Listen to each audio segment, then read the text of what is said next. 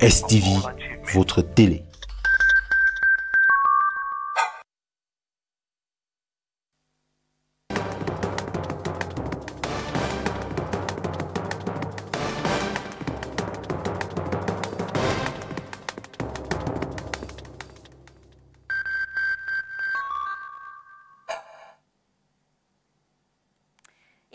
19h sur les antennes de Spectrum Télévision. Mesdames, bonsoir. Monsieur, bonsoir et merci d'être avec nous. C'est le journal.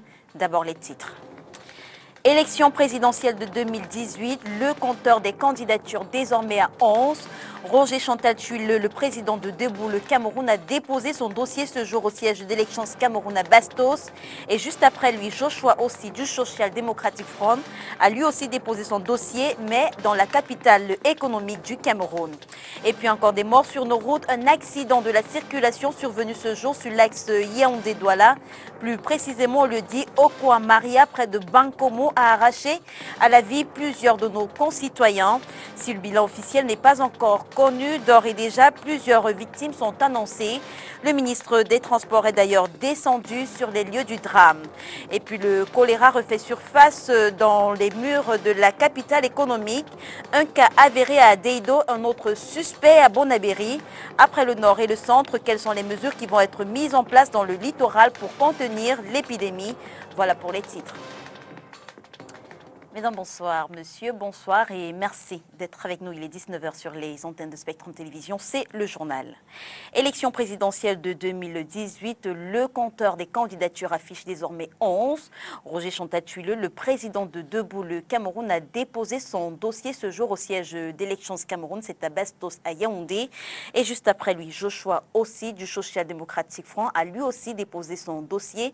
Mais cette fois, dans la capitale économique du Cameroun, on fait le point avec Olivier Bouzique. À quelques heures du délai de réception des dossiers, neuf candidatures ont déjà été enregistrées par la commission de réception des candidatures. Il s'agit notamment de celle de Paul Biya, du Rassemblement démocratique du peuple camerounais, celle de Maurice Kamto, du Mouvement pour la renaissance du Cameroun, Akegemuna, du Front populaire pour le développement, celle de Garga Aman Adi, président de l'Alliance pour la démocratie et le développement, Adamoun Damdjouya, de l'Union démocratique du Cameroun, Isaac Fezeux, du Mouvement pour l'émergence et le réveil du citoyen, celle de Kissop Bertin, du Cameroun Party for Social Justice, Koum An Ihim, président du bilingual Yaoundé Political Party, et celle de Boboro Kikomo, candidat indépendant. Sur les lieux, au siège de la Direction générale d'élections Cameroun à Yaoundé, le dépôt du dossier de candidature du candidat du Social Democratic Front était annoncé à la délégation de l'ECAM, région du littoral, ce qui ferait passer à 10 le nombre de dossiers de candidatures reçus sur l'ensemble du territoire national pour le moment. Le délai, conformément à la loi électorale, est prévu le 19 juillet à minuit. Dans les états-majors des autres partis politiques, des concertations se succèdent en vue d'une éventuelle participation d'un candidat à ce scrutin. C'est le cas notamment de l'Union nationale pour la démocratie et le progrès, par exemple, dont les cadres se sont réunis ce jour à Yaoundé pour une réunion du bureau du parti. On précise justement à votre suite, Olivier Bouzique, que cet après-midi, Roger Chantal Tuileux, le président de Debout, le Cameroun, a lui aussi déposé son dossier de candidature à Elections Cameroun, antenne de Bastos. Présidentielle 2018, on en parle encore. Le dossier de candidature du Social Democratic Front déposé. Joshua aussi, en compagnie de Ninjan Fondi, l'a fait ce jour à la délégation régionale d'Elections Cameroun pour le littoral. Après un peu plus de 7 heures de temps d'attente, vous nous Donquin. On reviendra justement sur cet élément de Oriane Donquin, mais précisons dans la même lancée que Cabra Libi a déposé ce jour sa caution de 30 millions de francs CFA. Le candidat déclaré du Parti Univers l'a fait ce matin à la trésorerie générale de Douala, ce qui confirme sa participation à l'élection du 7 octobre. D'ailleurs, il envisage de déposer son dossier dès demain. Deux candidats qui jettent euh, l'éponge. Il s'agit de Bernard Ndjongan et Hilaire euh, Kamga. Ils l'ont fait savoir ce jour au cours d'un point de presse donné dans la capitale politique du pays. Mireille Siabdier pour les détails. Nous ne participerons pas à l'élection présidentielle 2018. Le parti politique Croire au Cameroun de Bernard Djongan jette ainsi l'éponge à quelques heures du délai de dépôt de dossier de candidature à la direction générale des élections problème euh, du climat à l'intérieur du champ politique camerounais aujourd'hui, qui ne prête pas la place, qui ne laisse pas la place au, au débat qui tourne autour du quotidien, des problèmes que rencontrent les, Camerounais au quotidien, et lesquels problèmes, soit dit en passant, nous avons, nous avons une offre. Les 40 mesures que vous connaissez, c'est par rapport à ces problèmes. Or, quand on sent que les échanges qui arrivent ne donneront pas l'occasion de faire des débats, de discuter autour des solutions aux problèmes des Camerounais, alors vous comprenez bien qu'entrer dans une arène comme celle-là, ce serait un peu peine perdue. La perspective des élections locales l'année prochaine nous enchante, a déclaré le président du CRAC. Une position qui, selon lui, s'appuie sur les 40 mesures agricoles pour faire décoller le Cameroun en 5 ans. C'est maintenant que le CRAC entre en politique parce que nous avons compris qu'il faut retrousser les manches, il faut s'armer de patience, s'armer de volonté pour aller vers les Camerounais et chercher à les convaincre à la fois à la compréhension de notre projet, mais aussi à ce qu'ils puissent s'intéresser à la chose politique. Hilaire Kamga et le mouvement Offre Orange se déclarent aussi non partants pour le scrutin présidentiel du 7 octobre prochain. Tant que l'orangisme ne sera pas aux élections, parce que nous postulons que sans masse critique électorale nationale, il n'y aura pas d'élection crédible, il n'y aura pas de libération du peuple, il n'y aura pas de possibilité de pouvoir vaincre la 33e technique de fraude électorale, et donc nous ne pouvons pas valider le hold-up démocratique qui est préparé par le régime de M. Biapol. Pourtant, l'orangisme avait annoncé une coalition avec d'autres partis politiques pour renverser le RDPC au pouvoir depuis pratiquement 36 ans. Mais nous avons cru que la condition que nous avons mise sur la table, la coalition des forces qui produit la masse critique électorale devait pouvoir se réaliser. Nous admettons aujourd'hui devant le peuple camerounais, on lui rend compte qu'on n'a pas pu, malgré nos efforts, construire cette coalition, aider à construire cette coalition des forces du changement, et donc on n'aura pas un candidat du peuple, et M. Biapol surfera sur euh, cet, cet élément-là. Nous faisons croire que peut-être nous aurions tort. Pour leurs camarades de parti, le crack et la dynamique orange n'ont donné aucune consigne de vote, mais encouragent cependant les citoyens camerounais à aller aux urnes. Le Palais des Congrès de Yaoundé a abrité ce mercredi un séminaire consacré à l'appropriation des tests et pratiques visant à garantir le bon déroulement de l'élection présidentielle prévue le 7 octobre 2018. C'était en présence de sensiblement tous les acteurs du processus électoral et des membres de la francophonie. Olivier Bouzique. Aider les différents acteurs du processus électoral à s'approprier les textes électoraux Tel est l'objectif principal visé par l'Organisation internationale de la francophonie à travers ce séminaire qui s'est ouvert ce jour à Yaoundé. Parce que vous savez, c'est un processus qui est régi, n'est-ce pas, par des règles. Et pour bien les appliquer, il faudrait pouvoir assurer la compréhension commune de ces règles par l'ensemble de ces acteurs. Et surtout, en ce qui concerne notamment les institutions, contribuer à créer entre ces institutions des passerelles de collaboration sont concernés par cette session de formation toutes les institutions impliquées dans le processus électoral, la Cour suprême, Elections Cameroun, le ministère de l'administration territoriale, le Conseil national de la communication, la société civile, les acteurs politiques et surtout le Conseil constitutionnel qui pour la première fois rendra public les résultats d'une élection présidentielle. Élection présidentielle comme les autres élections, nous, le problème c'est de maîtriser n'est-ce pas, les mécanismes. Et pour l'élection présidentielle, on va davantage réfléchir. Bien au-delà, l'OIF entend renforcer son soutien matériel en vue des prochaines échéances électorales. Le travail de l'OIF est orienté aujourd'hui à soutenir en amont, n'est-ce pas, du processus électoral, les institutions électorales en ce que nous appelons l'assistance technique. Euh, C'est pouvoir euh, contribuer à outiller, n'est-ce pas, ces institutions du savoir-faire électoral. Vous savez, les élections relèvent, n'est-ce pas, d'un domaine qui évolue très rapidement. Donc, euh, c'est dire que euh, c'est un travail plus technique. Des experts internationaux des questions électorales ont été associés à ces échanges de deux jours. Ils interviendront prioritairement sur la dimension politique du processus électoral. Et on parle en bref de cette sortie du ministre de l'Administration territoriale pour refermer notre page consacrée au scrutin du 7 octobre 2018, constatant une multiplication des conflits internes au sein de plusieurs partis politiques. Paul Atangadi fait savoir à l'opinion publique que seuls les leaders ci-après sont désormais habilités à représenter leurs formations politiques respectives. Il s'agit du secrétaire général de l'Union des populations du Cameroun, de M. Robert Bapoulipote, du du président du comité de direction du Manidem, Anissé Kane, et bien sûr du président national du CPP, M. Dita Samuel Fon. Loin de l'élection présidentielle, nous mettons le cap sur la capitale régionale du Sud, où établir une carte nationale d'identité est un véritable casse-tête chinois. L'attente peut parfois durer plusieurs jours. Le constat est de Martin Lemba.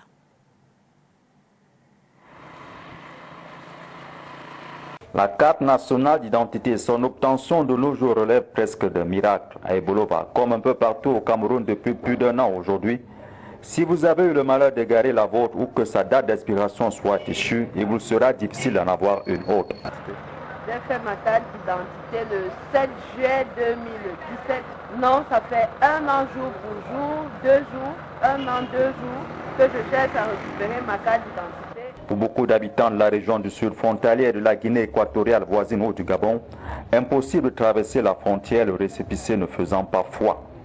J'étais euh, au Gabon et j'ai eu l'opportunité d'y arriver. Euh, donc j'avais perdu euh, ma carte nationale d'identité, ça fait depuis. Et quand j'arrive, j'ai pu faire le récépissé, Et peut-être par, le passeport, on, peut le faire rien qu'avec l'original de la carte nationale d'identité.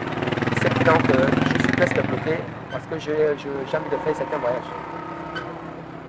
Si en plus de cela, votre récépissé, vous ne l'avez plus, votre voix ne sera pas comptée pour la prochaine élection présidentielle, sans oublier toutes les tracasseries qui vont avec leurs différents déplacements. Ensuite, je ne peux pas euh, faire valoir mes devoirs de citoyen voir les élections. Je ne peux, pas, je peux pas contribuer parce que je n'ai pas de récépissé, pas de, euh, de CNI. Je suis bloqué. Face à tout ceci, tous les regards sont tournés vers Yaoundé pour la résolution du problème. Commune d'arrondissement de Douala 4e a tenu sa réunion de sécurité hier 17 euh, juillet 2018. Autour du sous-préfet Jean-Marc Ekwambarga, il était question, entre autres, de faire la lumière sur les récents rafles organisés dans cet arrondissement. Il faut noter que cette réunion intervient après deux événements majeurs. La présence du choléra dans les murs de Douala, mais aussi la convocation du corps électoral pour l'élection présidentielle du 7 octobre prochain. Je vous propose d'écouter le sous-préfet Jean-Marc Ekwambarga au micro de Spectrum Télévision. La préoccupation de cet après-midi était de discuter avec euh, les responsables politiques traditionnels et les forces de maintien de l'ordre sur trois sujets précis. Le premier étant la sécurité dans notre arrondissement. Le deuxième, c'est la convocation du corps électoral par le chef de l'État en vue de l'élection présidentielle du 7 octobre prochain. Et enfin, le choléra. Vous savez que ce week-end, le ministre de la Santé publique a fait une communication officielle par rapport au choléra. Nous avons donc essayé de parcourir tous ces, tous ces problèmes et envisager les solutions. Je voudrais dire par rapport au RAF qu'il y a beaucoup d'informations qui ont circulé faisant état de ce qu'on a fait des racles pour étiqueter, pour rechercher seulement les, les anglophones à Bonaberi. Et on a évacué ce problème. Vous-même, vous avez suivi dans la salle des témoignages qui ont été faits pour dire que n'ont pas seulement été rappelés des, Camerounais d'expression anglaise, mais également tous les autres Camerounais qui se sont trouvés au, au mauvais endroit au moment où les rafles avaient été organisés intense à votre journal. Je vous l'ai promis, on revient donc sur ce dépôt de candidature du Social Démocratique Front. Joshua aussi l'a donc fait ce jour. Il était accompagné de Ni John le chairman du Social Démocratique euh, Front. C'était après, après un peu plus de 7 heures de temps d'attente, vous nous le dites, Oriane Donquin. On n'aura malheureusement pas ce reportage. On va dire qu'un accident de la circulation est survenu cet après-midi sur l'axe lourd Yaoundé-Douala. L'accident a eu lieu à environ 2 km du péage de Mbankomo. On dénombre plusieurs blessés pris en charge dans les hôpitaux du coin. Parmi les personnes décédées, deux dames, l'une d'une quarantaine d'années et l'autre dans la trentaine, mais aussi un homme lui aussi dans la trentaine, descendu sur les lieux du drame. Le ministre des Transports Jean-Ernest Massé-Nangal fait savoir que des mesures seront prises afin que des sanctions lourdes soient appliquées.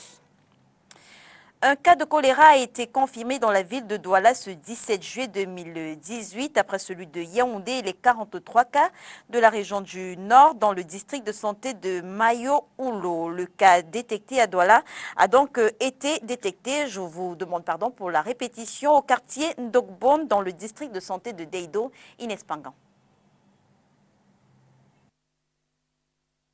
Un cas confirmé de choléra à Douala, dans le district de santé de Deido, au quartier Ndokbon, dans le 5e arrondissement de Douala, ce 17 juillet 2018, et un autre cas suspect déclaré dans le 4e arrondissement, particulièrement au quartier Mabanda.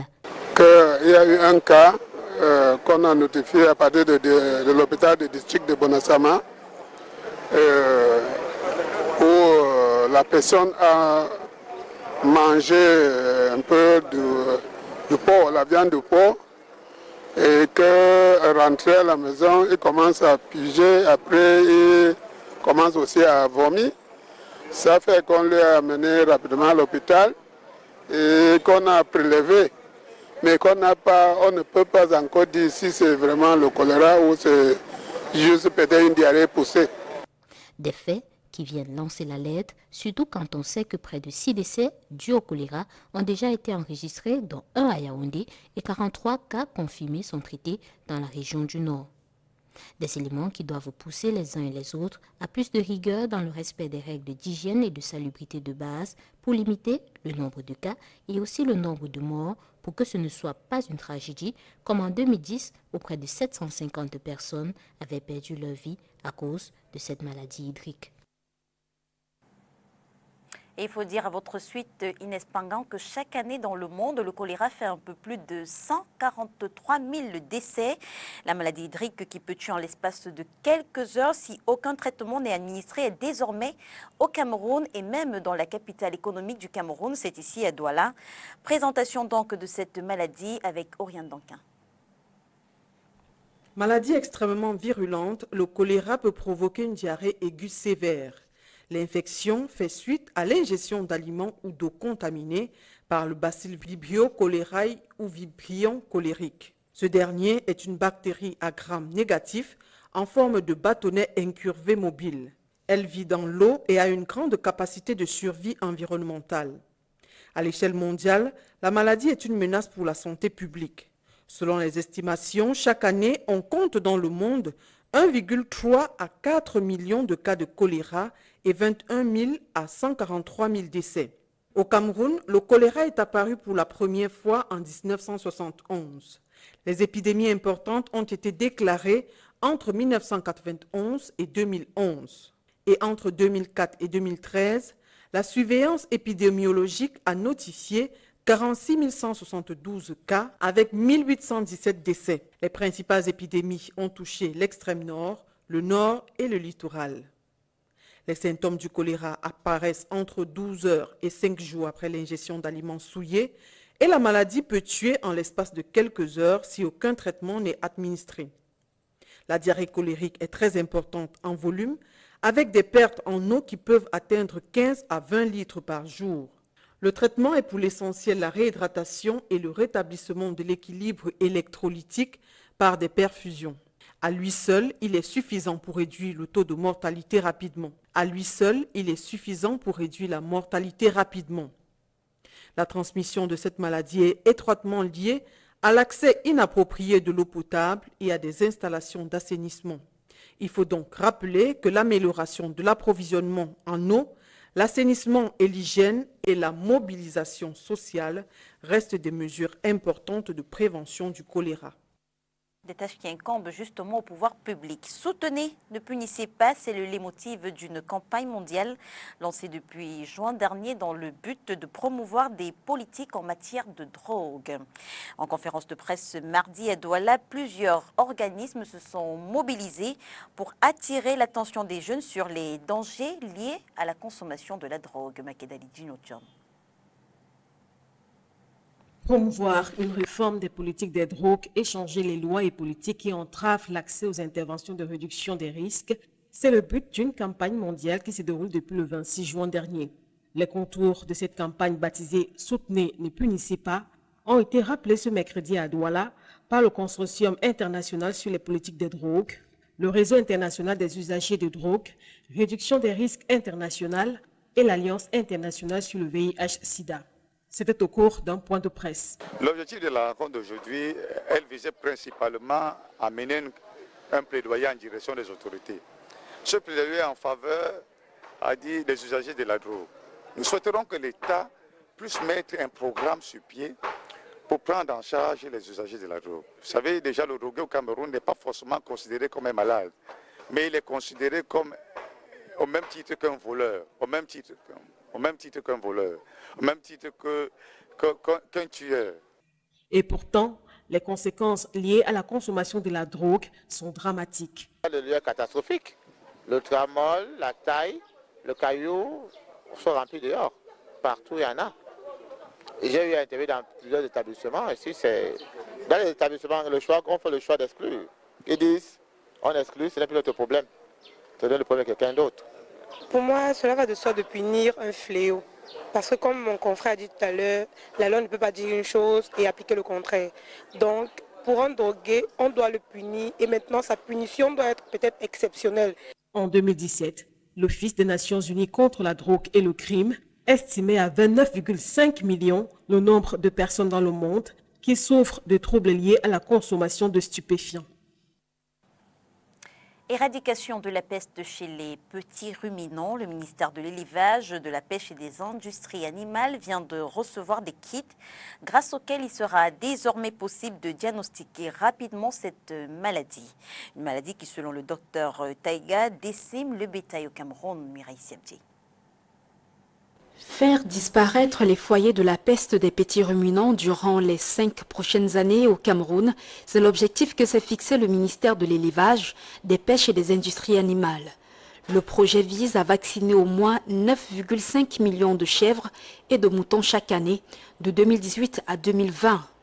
La phase pilote a d'ailleurs été lancée le mois dernier dans les départements du Logon et Chari et du Mayo-Sava où un objectif vaccinal de 1 million de têtes immunisées d'ici la fin du mois d'août est attendu. Le ministre Taïga a d'ailleurs indiqué que le projet national d'éradication de la dite peste sera par la suite mis en œuvre sur toute l'étendue du territoire national dans les prochains jours une initiative que soutient l'Agence d'exécution de la communauté économique et monétaire de l'Afrique centrale. Euh, c'est pour cette raison que, dans le cadre de la, lutte contre la PPR, euh, avec la coopération de la FAO, euh, la CBVIRA vient de distribuer des kits pour la prévention de la PPR. Il faut dire que le Cameroun est le deuxième pays à recevoir ces kits. Il y en a cinq pour euh, à peu près 10 euh, 000 euh, prélèvements. Les kits reçus seront utilisés par le ministère de l'élevage pour le diagnostic sérologique de la pathologie qui décime de nombreux cheptels. Puisque là, nous allons recevoir beaucoup d'échantillons de sérum sur le terrain, on va les analyser pour connaître déjà la séroprévalence sur le plan national. Et avec le programme de vaccination, contrôler également la couverture vaccinale pour voir quel est le pourcentage de séroprotection et en plus, ça va donc tendre vers l'éradication de cette maladie, puisqu'il y aura des productions d'anticorps pour protéger les petits ruminants contre cette maladie qu'on appelle peste des petits ruminants. Rappelons que la peste des petits ruminants tue jusqu'à 90% des chèvres et des moutons infectés au Cameroun. Promise chose due, le Social Democratic Front a finalement déposé ce jour son dossier pour l'élection présidentielle d'octobre 2018, prévu pour être fait à 10h. C'est finalement en fin de soirée que Joshua aussi s'est présenté à Elecam, délégation régionale pour le littoral. Oriane Danquin. L'enfant prodige du Social Democratic Front, ou mieux, le candidat prodige, a enfin déposé son dossier de candidature. Il est un peu plus de 17 heures lorsque Joshua aussi arrive à la délégation régionale d'élections Cameroun pour le littoral. C'est depuis 10 heures de la matinée que militants, sympathisants, riverains ont pris leur quartier dans le hall de la structure ayant bravé dame pluie qui a décidé d'arroser la ville aux premières heures de la journée. Était-ce un signe de bénédiction? Difficile de le dire, même si en se remémorant l'attente, plus de 7 heures de temps, on est tenté de penser le contraire. Il est néanmoins arrivé, conducteurs de mototaxi, fanfare, acteurs de la société civile et même des partis politiques de l'opposition sont présents, sans oublier tout le SDF littoral. C'est donc fait, le Social Democratic Front a déposé son dossier de candidature ce mercredi 18 juillet 2018. Quoi le choix de la capitale économique et non la capitale politique? Je suis honoré ce jour d'être accompagné par le président national du parti qui vient devant vous me euh, donner le témoin pour continuer euh, cette bataille pour libérer ce pays. Nous sommes à quelques heures du délai de dépôt des dossiers. Joshua aussi est accompagné dans cet exercice par Ni John Frundi, le chairman du SDF. Le choix de Douala est tout à fait naturel. Et les CAM et à Deido. Deido, c'est ma base. Je suis député de Voury-Centre. C'est le cœur de Voury-Centre ici. Je ne me voyais pas en train d'aller déposer ma candidature ailleurs. Reste donc à attendre le 8 août prochain, date de validation des candidatures par le Conseil constitutionnel. Pour finir, la Fédération camerounaise de karaté et discipline affinitaire vient de clôturer la saison sportive 2017-2018. Clôture en beauté, les athlètes ont été réunis dans la région de l'Est. Il faut noter que les meilleurs de la finale nationale représenteront le Cameroun à la prochaine Coupe d'Afrique des Nations de karaté et ce sera au Rwanda, Joseph Kamoni. La saison sportive 2017-2018 tire à sa fin au Cameroun et les amoureux du karaté et disciplines affinitaires sont sur la bonne voie. À Bertois, la Fédération camerounaise de karaté et discipline affinitaire organise les finales nationales 2018. Près de 100 karatékas venus des sept régions du pays rivalisent d'adresse sur les tatamis. Athlète de Camara Yaoundé. Oui, nous sommes là à la compétition, le championnat d'élite national de l'année en vue de la sélection à la Cannes. Les finales nationales, toutes catégories confondues, dames et messieurs, se sont déroulées en présence du délégué régional des sports et de l'éducation physique de la région de l'Est qui a pu apprécier les qualités tactiques et techniques des athlètes. Quand je vois le niveau des combats, je me dis, on peut faire, on a même une très bonne équipe. Il est juste question que ceux qui sélectionnent soient davantage euh, assez fins pour que nous ayons les meilleurs. Au regard des performances des athlètes, les encadreurs espèrent obtenir des résultats probants lors de la prochaine Coupe d'Afrique de karaté qui se déroulera cette année au Rwanda. Parlant de la compétition proprement dite, je pense qu'il y a un développement de valeur vers le haut. On a vu quand même une association qui a débousculé. Tout à l'heure, le délégué parlait de ce jeune qui arrive en finale. Pour arriver en finale, euh, ça n'a pas été facile. Il a eu à gagner plusieurs, n'est-ce pas, qui sont à l'équipe nationale. Ça demande tout simplement qu'il y a du potentiel.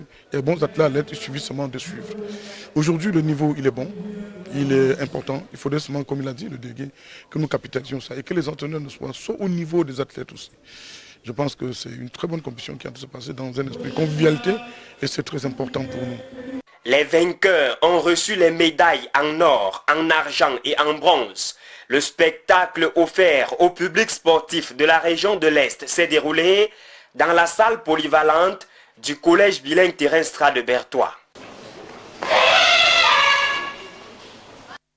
Rideau sur le 19h. Mesdames et messieurs, merci de nous avoir suivis. On se retrouve dès demain 19h sur les antennes de Spectrum Télévision. Si bien sûr, Dieu le veut, bonsoir.